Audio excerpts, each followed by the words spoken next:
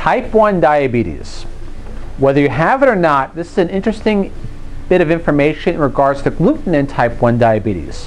While researchers published in the Journal of Diabetes this May 2014 was it discovered that when animals, or I should say mice particularly, were on a gluten-free diet, they did not develop type 1 diabetes, as opposed to the control group of mice, which were on a typical gluten diet, whatever a typical gluten diet is for a mouse, did develop type 1 diabetes after 13 weeks.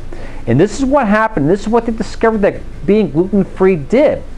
They found out when you were gluten-free, it affected in a positive way the intestinal bacteria.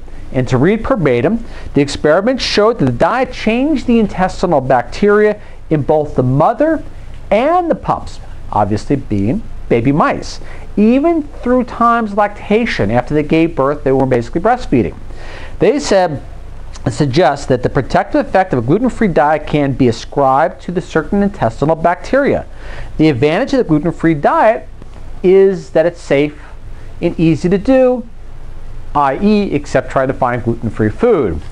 They also said they were not able to start large-scale trials yet in humans to see if this actually applies to humans because of obviously funding issues.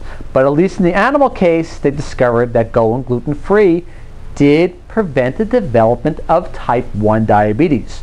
The researchers also stated too that they discovered gluten-free is extremely beneficial to humans which are currently diabetic. And this was done through the University of Copenhagen, where right now they have a large problem with diabetes, especially type 1 diabetes. So they're trying to find ways to alleviate this issue, just too expensive to treat. So if the diabetes is a concern with developing the diabetes, published in the Journal of Diabetes, this May 2014, consider going the option of gluten-free. Thank you.